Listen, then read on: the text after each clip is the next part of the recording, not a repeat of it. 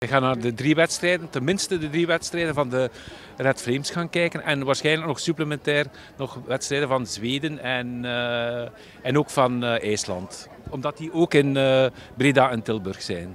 Je hebt dan ook natuurlijk, hebt natuurlijk ook een speciale band met een van de Red Flames. Ja, ja mijn dochter speelt dus bij de Red Flames al jaren verschillende kwalificaties meegemaakt.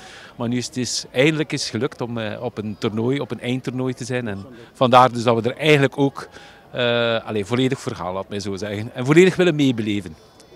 Ja, wie is uw dochter dan? Uh? Wel, uh, dat is Lorca van de Putten en uh, die speelt op de linksbakplaats gedurende jaren al bij de Red Flames. Speelt ook in Zweden, is professioneel met voetbal bezig. Vandaar daar ook de interesse voor de Zweedse ploeg en de IJslandse ploeg. Omdat er toch wel mensen ook die in haar team spelen ook actief zijn. Ja, ze is een tijdje geblesseerd geweest, maar ze lijkt wel fit te geraken voor TK. Ja.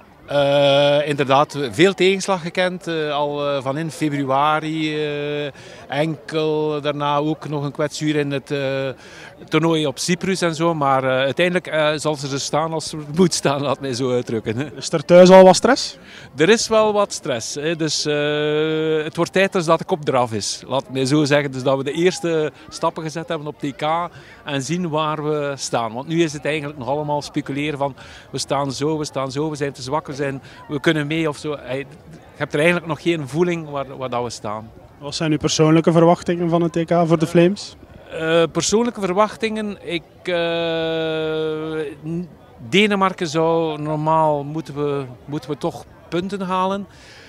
En als we dat halen, ja, dan is eigenlijk alles mogelijk. Uh, want tenslotte is het de resterende twee wedstrijden. Oké, okay, Noorwegen zal heel moeilijk zijn. Nederland het is te zien wat die nog te verdienen, te winnen hebben of te verliezen hebben op dat moment. Eh, dus daar gaat veel van afhangen. Het is een toernooi, het is geen kwalificatie. Dus daar geldt een speciaal. En een kwartfinale tegen Zweden zou misschien extra speciaal zijn? Dat zou extra speciaal zijn. Eh, maar ook IJsland is eh, heel welkom.